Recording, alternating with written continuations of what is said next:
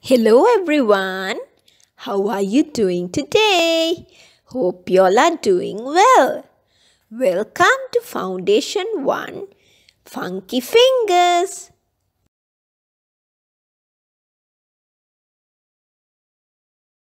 Today's learning objective is learners will be able to develop their fine motor skills through reinforcement of scissor cutting activities.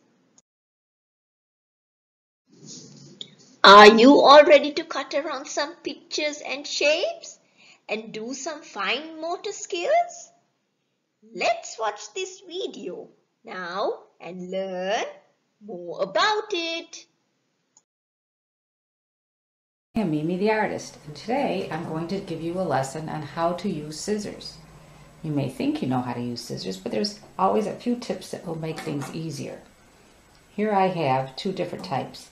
One I call school scissors because they're nice and easy and kind of safe to use. You still could cut something by mistake if you're not careful.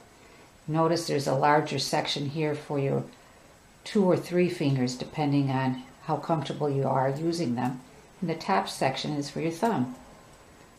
This type has equal size spaces and you can put a finger and a thumb in like this. And I believe these are made for if you're right-handed or left-handed.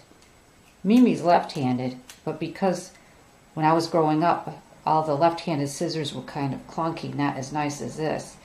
I taught myself how to use my right hand when I was cutting. And it does, it makes it easier now because no matter what kind of scissors I have to pick up, they're ready for my hand. And it leaves my left hand ready to draw. So let's get going. First of all, I'm going to draw a circle and tiny circle medium and tiny. And I want to give you a tip. When you cut, you want to go little cuts, not big ones like this. And you must be wondering, why? Why would I want to do little cuts? Big cuts only cut straight lines. Little cuts, you can go around the curves. Think about it like a fish in the ocean. Big cuts think about a shark. Maybe it goes chomp, chomp, chomp. The little cuts nibble, nibble, nibble like a little goldfish. So let's try this out. If I went chomp, chomp, chomp, notice I'm not getting too close to all my lines on my circle. It's a nice little shape, but boy, oh boy, does it look like the circle I wanted it to. If I had gone nibble, nibble, nibble, I could have followed my crayon line perfectly. If I wanted to go chomp, chomp, it'd be very difficult. Again, nibble, nibble, nibble. Another tip, do you notice my scissors are staying one spot? I twist the paper I'm cutting, not the scissors. I don't go all over the place with the scissors. They stay in one spot and I use the hand that's holding the paper and I twist the paper around as I nibble, nibble, nibble. Nice and simple. So the hand that's holding the paper is actually doing more work than the scissor cutting hand. Now here, I'll neaten it up with a little nibble cuts, and ta-da! So that's enough for this quick little lesson.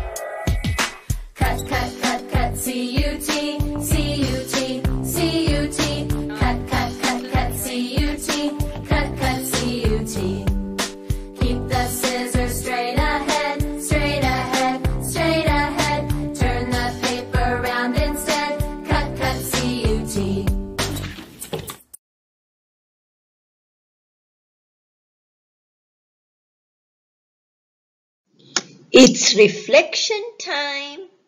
Now you can take the worksheet attached along with this link and practice your scissor cutting skills by cutting on the lines printed on the sheet using a safety scissor.